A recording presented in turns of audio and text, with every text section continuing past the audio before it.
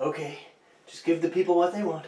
Smile, be funny, be insightful, give a good review, be funny, be charming, be relatable, but also original, but also different.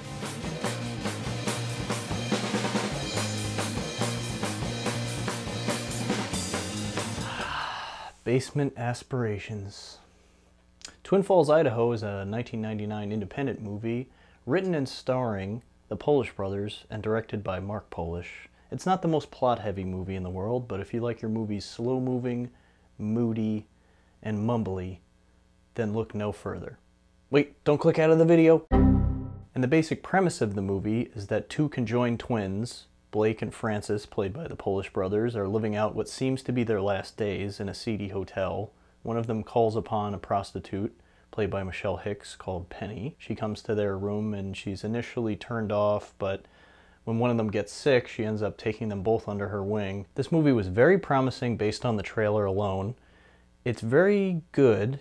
It's not quite great, but it is an undeniable indie sleeper hit in that you'll be asleep before the credits hit.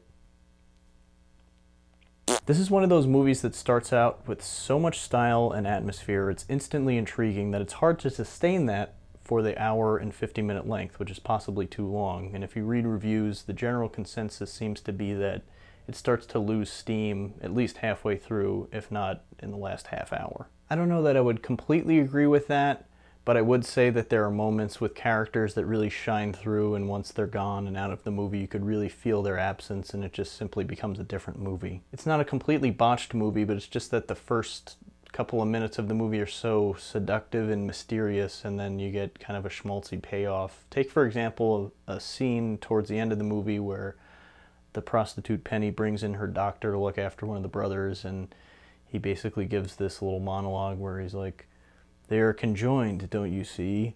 They live in tandem. One cannot live without the other.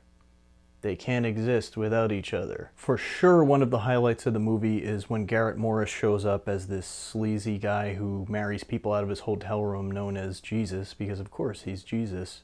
He has so much charisma, and the two or three scenes he's in just completely jumpstarts the energy of the movie and keeps it moving. And the same can be said for John Gries, who plays Penny's manager and turns up for a scene or two. Most would know him as Uncle Rico from Napoleon Dynamite. And actually, John Gries and Garrett Morris uh, went on to do a movie right after this one, also directed by the Polish brothers, called Jackpot, which I was originally going to review before this one. The major problem with the movie is that it sets up these great concepts like how would you react if you encountered these two? If you were one of them, would you end up resenting your conjoined brother?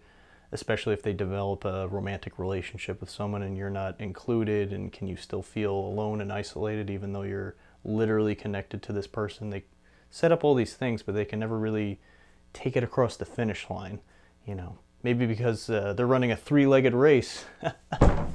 there are moments in specific shots that really hit hard. I'm thinking in particular of when the camera is pulling back from the brother's uh, peephole window thing in the door and it just pulls back and conveys such a sense of isolation and imprisonment.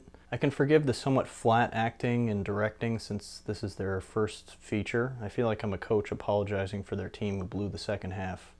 Well, we came out strong in the first half with our quiet reservedness and our established sense of authenticity and unspoken intrigue. But in the second half, we started throwing in cameos, all of which worked, but our self of purpose and ambition started to get a little lost in the shuffle.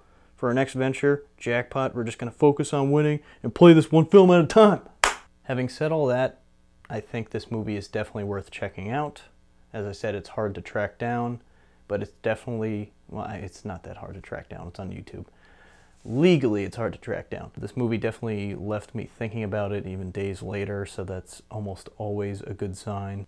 I like all the dingy motel stuff, which is where most of the movie takes place actually. It feels very lived in, realistic, but there's still this like tinge of surreal atmosphere to everything. I'll leave a YouTube link in the description so you can check it out for yourself. I think I might end up buying a DVD copy of this in Jackpot, if not on VHS, just because I'd like to live extravagantly and hopelessly in the past. Stay sexy.